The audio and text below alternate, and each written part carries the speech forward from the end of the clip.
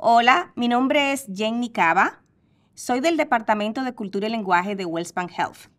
Voy a ser la facilitadora para la serie de educación de Bariatric Surgery. Eh, estas series fueron preparadas por el Departamento de Cirugía Bariátrica. Hoy vamos a hablar sobre cómo planificar compras saludables y hacerlo de acuerdo a su presupuesto. Es realmente importante tener un plan porque eso lo mantendrá organizado en la tienda de comestibles. Así que comencemos. Primero comencemos con la planificación de su menú. Esa es la clave de todo éxito y no tiene que ser difícil o tomar mucho tiempo.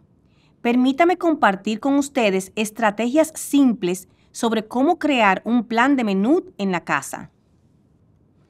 Pensemos en cómo simplificar la planificación de las comidas.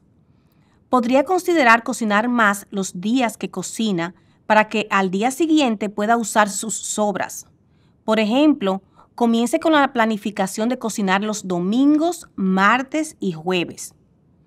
El domingo podría estar cocinando a la parrilla. El martes hagamos una comida en la olla de cocción lenta. El jueves comencemos con un tema como el mexicano. Si está asando la parrilla el domingo, entonces va a pensar en los diferentes tipos de carnes que le gusta cocinar a la parrilla. Por ejemplo, una semana cocinar pechugas de pollo, la siguiente tal vez carne de res, la próxima semana cerdo o chuletas de cerdo, la próxima semana podría ser pescado o mariscos. Siempre comience con la planificación de proteínas primero como su tema. Luego planifique sus vegetales. Las opciones incluyen ensalada fresca, vegetales a la parrilla, vegetales al vapor. Eso le da alrededor de cuatro semanas de variedad. Después de las cuatro semanas, usted repite el ciclo. Siguiente sería el martes el día que usted va a cocinar en la olla de cocción lenta. Piense en diferentes tipos de carnes para cocinar en la olla. Tal vez carne de res, como el asado de olla. Va a cocinar carne de cerdo, como lomo de cerdo o pollo. Podría preparar un pollo entero. Podría cocinar partes de pollo. Podría hacer pechugas de pollo. Y las recetas son súper fáciles porque prácticamente pone la carne con sus vegetales y luego lo deja cocerse durante 8 horas y listo. Eso nos da por lo menos 4 semanas de diferentes tipos de comidas. Nuevamente, después de 4 semanas, repite el ciclo.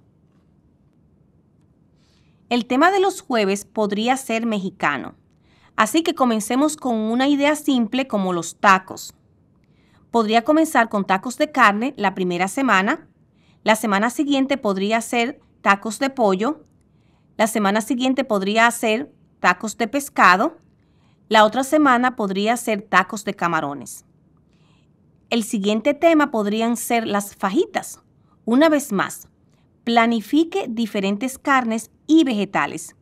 Solo planear una comida temática de tacos el jueves nos da más de cuatro semanas de opciones de comida. Una vez que se quede sin ideas, repite el ciclo nuevamente. Así que ese es un ejemplo de un ciclo de menú.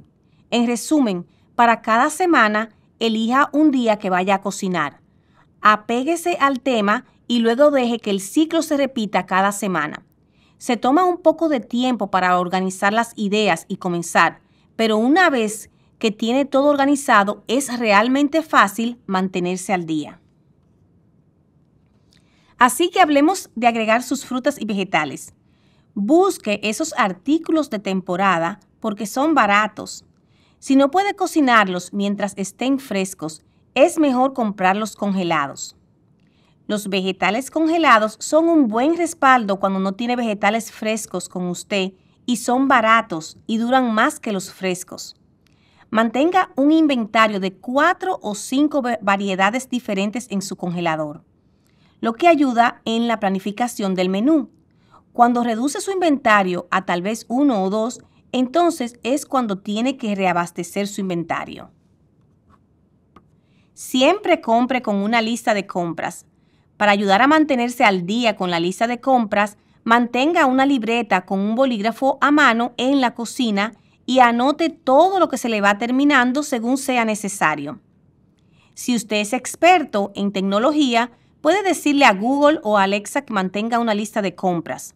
Por lo tanto, no necesita escribirla.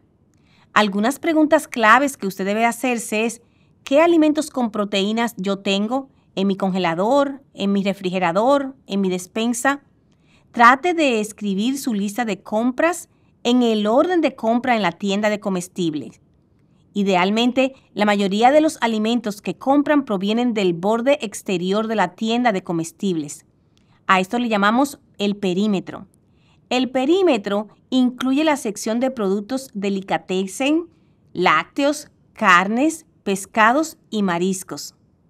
A veces, la sección de alimentos congelados está al final de la tienda o en la sección central. La mayoría de sus alimentos proteicos se encontrarán en las áreas perimetrales de la tienda. Las tiendas de comestibles generalmente tienen sus propios volantes en la tienda. También puede encontrar estos folletos semanales en el sitio de internet de las tiendas para que pueda planificar sus compras de comestibles para la semana utilizando esa información. Siempre que vea pollo en oferta, compre extra y congélelo. Siempre saque del empaque de la tienda las carnes que congelará porque ese empaque no está destinado para congelar. Ponga carnes adicionales en una bolsa de congelador y asegúrese de etiquetar y poner la fecha a los alimentos para almacenarlos. Es más fácil volver a envasar las carnes y congelarlas en porciones con, la, con las que usted va a cocinar. También compre los alimentos que puede usar en muchas comidas, ya sean sopas, guisos y sándwiches. Los alimentos con proteínas deberían ir en casi todo lo que hace. Cuando tenga carnes adicionales que congelará, considere hacer adobos para las carnes y déjelas congelar ya sazonadas. Coloque las carnes en bolsas de congelador, vierta el adobo y luego póngala en el congelador. Cuando quiera usarla para una comida, se descongela y sazona al mismo tiempo. Con el tiempo ahorrado, todo lo que tiene que hacer es preparar los vegetales o ensaladas. Este proceso simplifica la planificación de su menú. Congélelo en porciones que vaya a cocinar. Cuando guarde las sobras de cualquier tipo, asegúrese de congelarlas en una capa.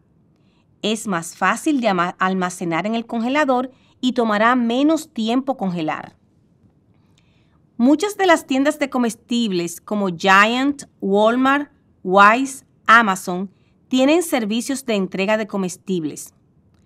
Además, hay una aplicación llamada Instacart que se asocia con tiendas de comestibles locales. Usted selecciona sus comestibles y alguien va a comprar para usted y lo entrega a su casa. Algunos de estos servicios son restrictivos porque si no tienen la comida en particular que usted está buscando, es posible que no le ofrezcan una alternativa de reemplazo. Tiene que pasar un poco de tiempo investigándolo, pero una vez que usted tiene un menú preestablecido de la comida que ha comprado, al empezar la orden, este artículo sigue apareciendo y se repite. Por lo tanto, no tiene que seguir rehaciendo una lista de compras cada vez que haga una orden. Otra forma de comprar con un presupuesto es usar cupones. Pero cuando esté usando cupones, asegúrese de verificar las fechas de vencimiento. Tenga cuidado con el tamaño de las porciones, porque hay algunas variaciones con eso. A veces especifica solo ciertos sabores, algunas tiendas duplicarán sus cupones. Entonces, por ejemplo, si encuentra un cupón de 50 centavos, puede valer un dólar. También elija marcas de tiendas en lugar de marcas principales. Las marcas de las tiendas suelen ser artículos hechos por grandes empresas de alimentos, por lo que obtiene la calidad a un menor costo.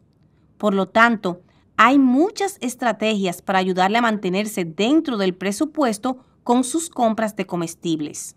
Otra opción económica es no comprar carnes. Por ejemplo, puede intentar agregar más frijoles como plato principal. Algunas personas agregan contenido extra de proteínas y son baratas. Para su noche temática mexicana, en lugar de un taco de pollo o carne, tal vez haga un taco de frijoles negros. Una vez más, solo para darle un poco de contenido de proteínas. Puede usar frijoles secos, pero primero debe remojarlos durante la noche o puede usar los frijoles precocidos. Busque frijoles enlatados que sean bajos en sodio o sin sal agregada. Una vez más, tanto los frijoles secos como los enlatados son opciones buenas para su presupuesto de comestibles.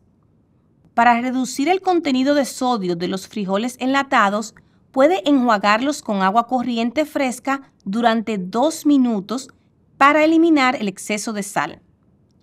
Otras opciones de frijoles o legumbres incluyen lentejas o garbanzos. En lugar de usar pollo o cerdo en una receta, use los garbanzos o las lentejas en su lugar. Una vez más, solo por una textura diferente, una variedad un poco diferente y no siempre incluyendo la carne. Los huevos son bastante universales y pueden ser una opción para cualquier hora de comida. Para cambiarlos, agregue diferentes ingredientes con tortilla. Por ejemplo, puede agregarle algunos frijoles negros. Puede agregar un poco de salsa, tal vez una cucharada de crema agria o yogur griego natural. Puede hacer una versión de espinacas y luego agregarle queso. Podrían hacer tazas de huevo. Estos parecen una tarta sin corteza. Puede también usar una bandeja de hacer bizcochitos, colocar un huevo en cada uno y agregar los ingredientes que usted desee en cada tacita. Otros ingredientes que ahorran dinero es agregar la leche en polvo a diferentes alimentos para aumentar el contenido de proteínas de los alimentos. Puede agregar leche en polvo a su yogur, puede agregar la leche en polvo a la mezcla de pudín, si tiene una mezcla en polvo sin azúcar, agregue la leche en polvo y luego hágala con leche como lo indican las instrucciones. Este sería el mismo concepto que si tuviera que agregar un polvo de proteína de suero en los alimentos. El requesón es otra opción realmente buena de alto contenido de proteínas y bajo costo. Es ideal para el desayuno. Es bueno como una opción de almuerzo rápido o puede ser un bocadillo saludable. Si hay alimentos que come con frecuencia o en grandes cantidades, entonces podría ser más barato y más sabio comprar el envase grande en lugar de los individuales. Una vez más, está pagando por la conveniencia de una sola porción. Si prefiere obtener los envases individuales porque está viajando o lo que sea, entonces ciertamente puede hacerlo. Busque el precio unitario para cada envase y decida cuál sería una mejor opción para usted. Es fácil medir una porción de requesón o yogur griego para la semana y ya eso está en la nevera, listo para usar. Solo tiene que sacarlo del refrigerador. Por lo tanto, podría implicar un poco de planificación previa de su parte. El queso es otra muy buena opción de proteína sin carne y es ideal para bocadillos. Una vez más, pensando en las opciones de proteínas.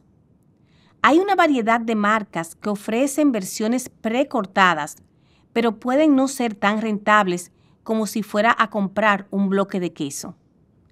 Creo que todos estamos tratando de asegurarnos de tener algo de variedad y no quedarnos atrapados en una rutina con los mismos alimentos una y otra vez. Ahora vamos a hablar de las meriendas. Ya sabemos que usted está tratando de comprar con un presupuesto. Muchas de esas meriendas diferentes son un poco caras. Una bolsa de Doritos podría costar 5 dólares, donde podría haber obtenido una libra y media de pollo por esos mismos 5 dólares. Ese pollo podría haber dado suficiente para cocinar varias comidas durante la semana. Pero en cambio, los doritos solo duran una noche o dos, o tal vez solo ese día, si lo comparte con la familia. Otro artículo de alto costo es la soda.